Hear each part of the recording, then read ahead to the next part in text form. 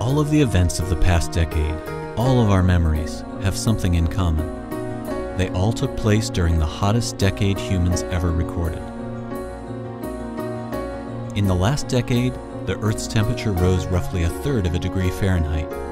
Since 1880, it's risen about one and a half degrees.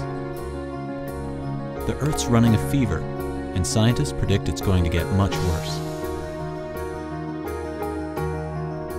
Already, we can tally the signs. Global sea level rose by over an inch during the decade. Arctic summer sea ice declined by over 300,000 square miles, enough ice to cover the states of Texas and Kentucky. The vast majority of climate scientists say evidence for human-caused warming is clear. But less understood is exactly how this warming will change the complex interactions between our planet's land, water, sky, and the living organisms that inhabit our world. As NASA scientists improve their understanding and predictions about climate change, NASA satellites provide objective data about what's happening on our planet today, real-life observations that scientists use as a basis for those predictions. And NASA gets a global view of three major pieces of the climate puzzle. How much of the sun's energy is hitting the Earth, how much of that energy is reflected or radiated back out to space, and how much is being trapped, heating the planet. NASA satellites measure the sun's energy, which fluctuates due to the sun's natural cycle. Could increased solar energy be causing global warming? Scientific evidence tells us no. In fact, at the end of the decade, our sun was at a particularly low dip in the solar cycle, meaning slightly less energy was hitting the Earth. Although this should actually help cool the Earth, the net effect is much smaller than other factors.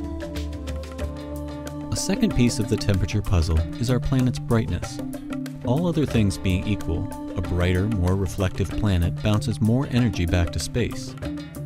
Some of the brightest, most reflective areas of our planet are those covered with ice. NASA imagery shows those areas shrinking, especially in the Arctic. As sea ice vanishes into darker ocean, our planet becomes less reflective and warms even further. Clouds also reflect a lot of sunlight. As our planet warms, more water evaporates, potentially creating more clouds.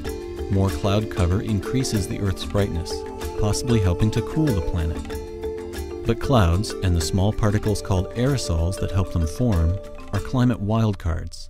Many current climate models predict some cooling due to increased cloud cover. Will it be enough to significantly slow warming? Scientists are using NASA data to look for the answer. Further complicating the issue is that water vapor is actually the world's most abundant greenhouse gas. That's right, the same molecules that might cool the planet in cloud form actually warm it when they're in the form of a gas. They create a blanket around the Earth, catching heat radiating from the planet's surface and trapping it within the atmosphere. As the planet warms, more water evaporates from the ocean, creating more of this heat-trapping greenhouse gas. Humans can't directly control the amount of water vapor in the air, but we can have a much greater impact on other major greenhouse gases. Carbon dioxide is the second most prevalent greenhouse gas, and it's our biggest contribution to global warming. Fossil fuel burning releases large amounts of carbon dioxide into the air, NASA satellite instruments capture the infrared signature of carbon dioxide in the global atmosphere. They show a continual rise throughout the decade. NASA monitors other greenhouse gases, such as methane, nitrous oxide, and CFCs. In recent years, CFCs have decreased. Methane and nitrous oxide are on the rise. Greenhouse gas is most likely the main contributor to current global warming. It's the key piece of the temperature puzzle, and it's unlocked the door to higher and higher temperatures.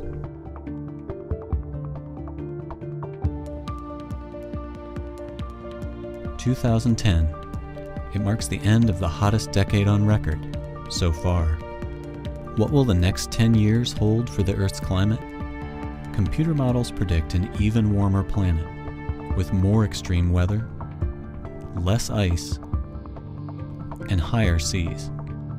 The severity of those changes will depend partly on how our planet's complex system responds, and more importantly, on what choices we make.